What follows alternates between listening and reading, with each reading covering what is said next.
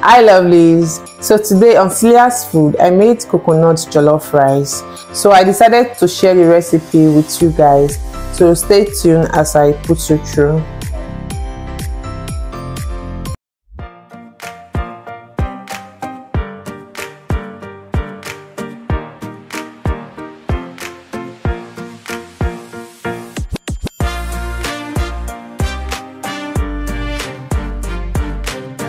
So the first procedure in making our coconut jollof rice is to go in with your vegetable oil.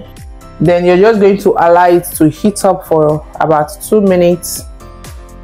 You're going with your chopped onions.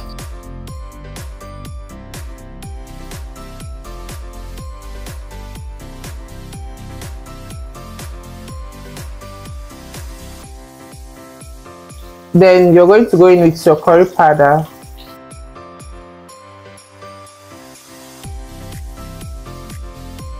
So since it's coconut jollof rice, I decided not to add thyme on this one. So I just allow this to saute for extra one minute.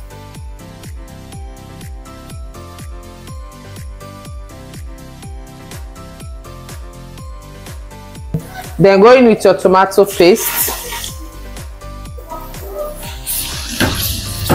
So you're just going to stir that up and allow it to fry for extra 5 to 4 minutes.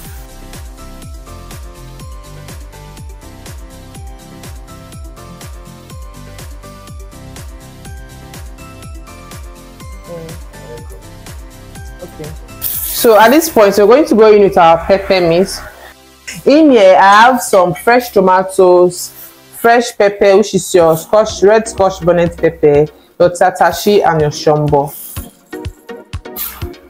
Then some onions two to three medium onions and also your garlic. Like i said before you can easily add your garlic at first when you're frying your onions or better still you can just blend with your uh, pepper mix like this. So you're just going to allow this to fry properly. So when your jollof sauce is ready like you're going to go in with your meat stock then stir that up properly.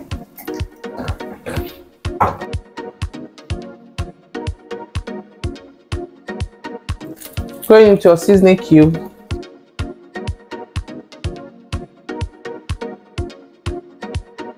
your salt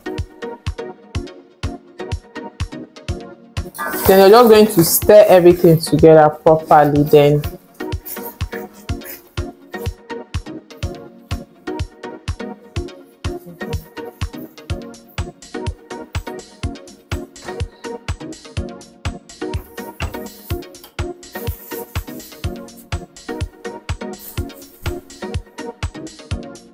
I'm going to go into our crayfish powder.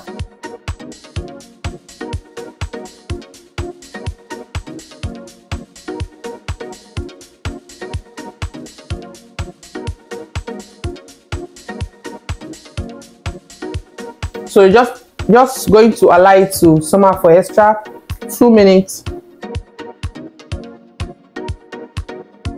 We're going to remove some of your stew base.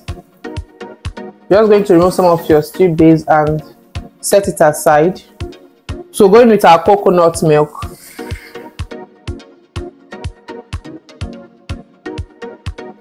Stir that up together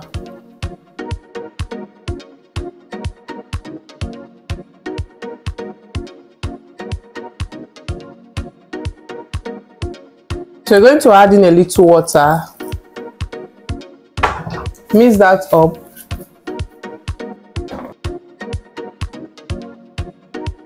Then you're going to cover and allow that to cook for extra seven minutes.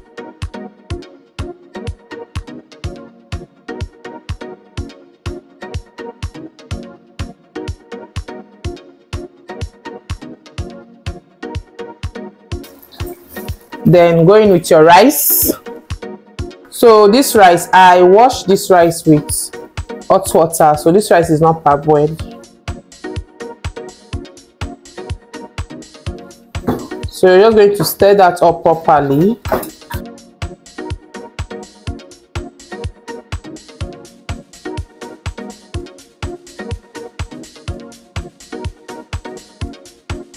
Going with your water. Then you're just going to cover and allow to cook.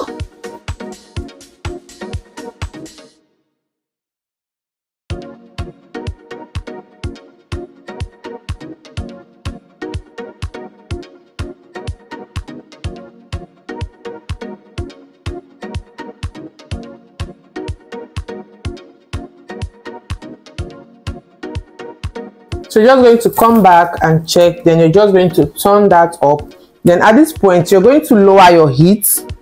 Then you see that um, gravy we first remove. At the beginning of the video you're going to come and add it back just like this.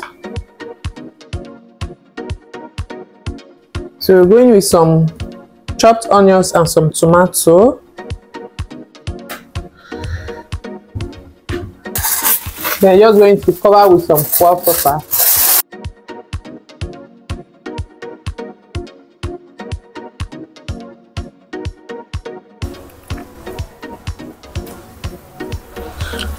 So you're going to come back and check on your rice. At this point, you're just going to stir that up properly so that everything can cooperate into the rice note don't be scared about the burning and everything. Your jollof rice must burn so that is a sign of a good and well cooked jollof rice. If you really want to have that party taste jollof rice just make sure your jollof rice have to burn